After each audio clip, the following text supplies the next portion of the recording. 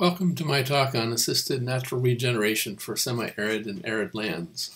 My name is David Bainbridge, and I've been a restoration ecologist for more than 30 years in the deserts and drylands of North America.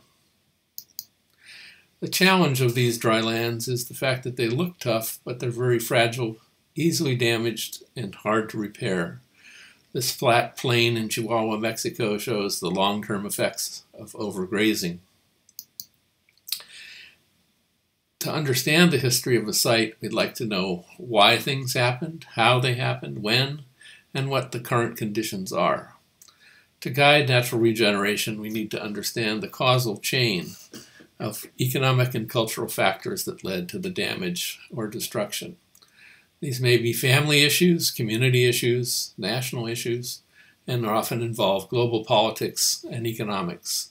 The question is, how can these be mitigated with policy or education. Climate change brings a whole new range of challenges greater heat, more severe drought, and more severe storms with heavy downpours that can really tear dry lands apart. Resource limitations are usually severe in these areas with very little money for work, uh, very few supplies, and limited options for even research on the functions. But people are available and they can do many things with the available resources, labor, and a commitment to change. The key step is to focus on the site and understand as much as possible what the functions are in the area. Traditionally, much restoration has looked at historic structure. What species were there, what plants, what were the distributions, and many cases have planted nursery grown plants at great cost and sadly limited success. For assisted natural regeneration, we want to consider ecosystem function, particularly the water flow on, over, and through a site. We also take a close look at changes in soil properties uh, from the undisturbed conditions, if we can find them, to the conditions today. In the picture, we see a training session we did at Red Rock Canyon State Park. This is a little portable infiltrometer to be developed to better understand how water flows into the soil at this particular site. Every drop of water counts, and one of the key steps is catching whatever you can.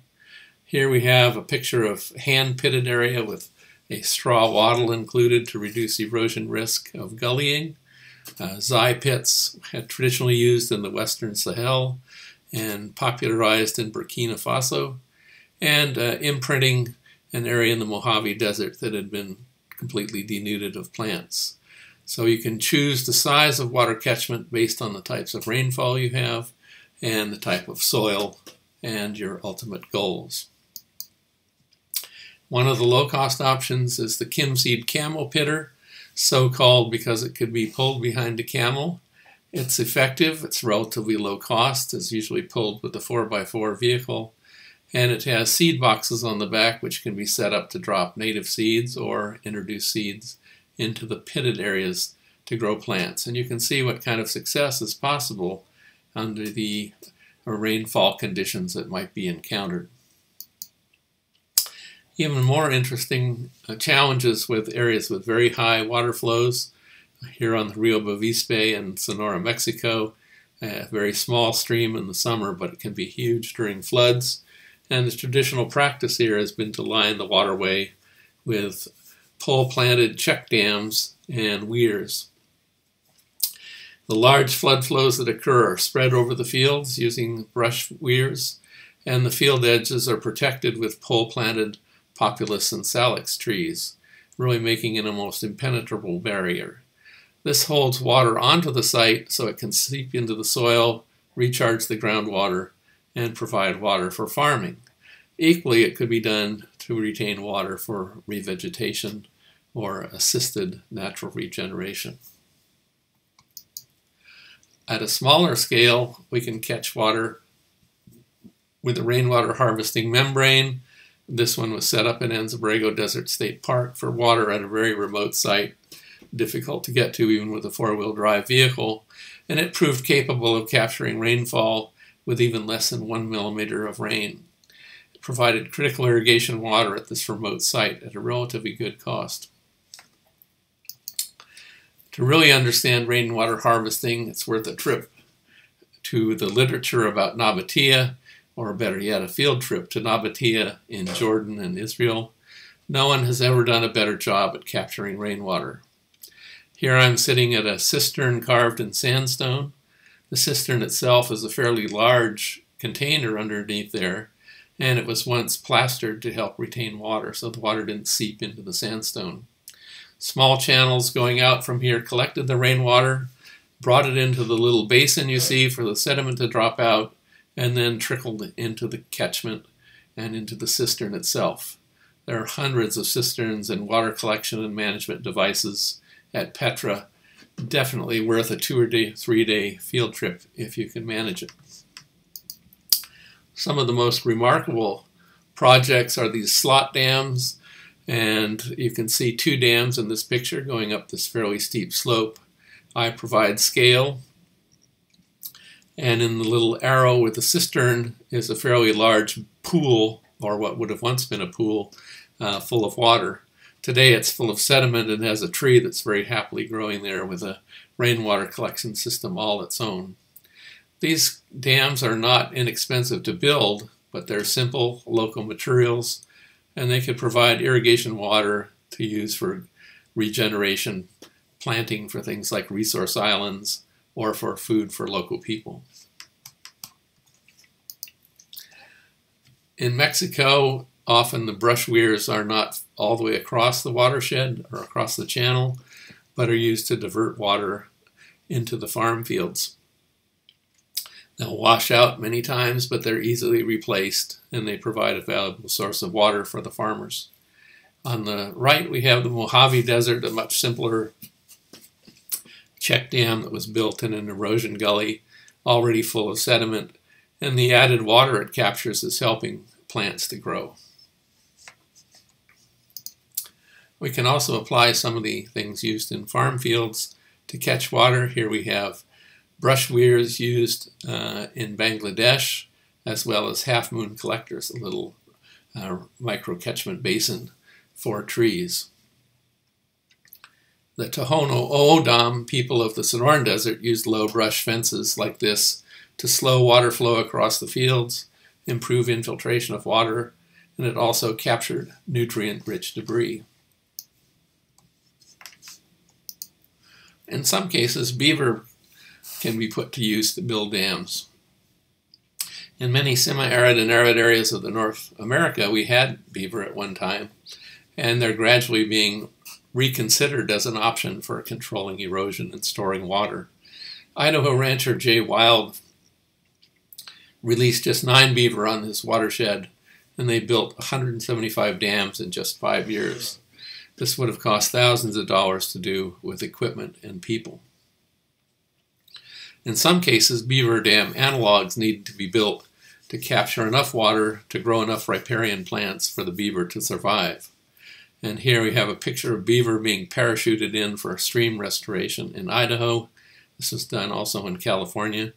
The beaver boxes would open up when they hit the ground, and the somewhat bemused beavers would waddle out and head for the nearest stream. They're really good, hard workers, and they don't cost anything. We don't think of beaver dams in the desert, but here's an example from uh, northern Nevada where a series of beaver dams run up this little draw. There are no traditional trees here that the beaver would eat, but they can survive on a number of shrubs and also aquatic plants. They really make a big difference in retaining water in ecosystems. They can recharge the groundwater over a fairly large area with their spreading dams and canals and they can extend seasonal flows. Places that once were dry in the summer suddenly have water. And they also enhance biodiversity by providing water, riparian vegetation, and a very more diverse habitat for a variety of species. Sometimes all we can do is protect natural seedlings, and after an ecologically significant rainfall, which may occur just every five or ten years, we may see a number of seedlings sprout And one of the best things you can do is protect the ones that sprout by themselves with a cage, with rocks, thorny branches, or tree shelters. The rock protection also provides plants protection from sandblasting, which can be a real issue for plants in denuded, uh, degraded areas, and provides some mitigation of extreme temperatures. You can see in the rock picture there, all the branches have been chewed off down to the level of the rocks. Uh, cages are expensive, and if a plant grows into the cage, it becomes a challenge getting the cage off the plant. Uh, we did had to do quite a few cageectomies on this particular project. And you can use natural materials for protection, as we see in this picture from uh, Portugal. Although we don't often get a chance for low, low cost to collect seed and spread it, it's worthwhile if you can do it. And if you collect the site nearby on similar exposures and elevations, you can make use of locally adapted plants. The seed has to be collected, cleaned, stored, and then ideally respread just before or as it starts to rain so it's not all eaten or blown away. One option is to create what's called a resource island, and this is an area within a site that gets a fence, irrigation of some kind, and either seeded and or container plants to provide a local source of seeds and uh, microsymbionts of all kinds for the site. These can create a local seed source that seeds the site year after year and would gradually fill in the denuded areas. And once again, protection could be built with thorny branches instead of a wire fence. And where possible, supplemental irrigation can make a big difference in getting things started. Seed collection is really uh, a low cost and often valuable part of natural regeneration. Key is to collect mature seeds that's fully ripe, to collect it and clean it, get all the bugs out so it's not eaten while you're storing it, and to store it under the best possible conditions. As my wife reminds me, this is not a paper bag under my desk. Uh, understanding seed dormancy is critical and seeds may have to be treated so they have a better chance to, uh, to sprout. Some of the hard-seeded plants can be scarified uh, with uh, sandpaper or a chipper or even just a knife to make a slit so water can get in and get the seed started. In the picture I'm collecting Indian rice grass from uh, area of the Mojave Desert. And one of the issues in many ecosystems is what natural management or human management did years ago in terms of spreading plants that were particularly useful for humans. In areas where floods are common, a flood seeder can be made that releases seeds during the flood event. So in this example, we've got a branch that's laid down in the channel. Uh, when the flood comes, it pulls the uh, log down the stream, and the log pulls the plug out of a seed container and the seed sifts down into the water and is spread out as the water goes further downfield. This gets seeds at the most advantageous times. What we would like to see is rain, but rain may not come except every two or three years or even further apart. So supplemental irrigation may be needed to keep our natural seedlings alive, or if we try to grow container plants, to keep container plants alive. And there are a wide number of super efficient irrigation systems that can be used.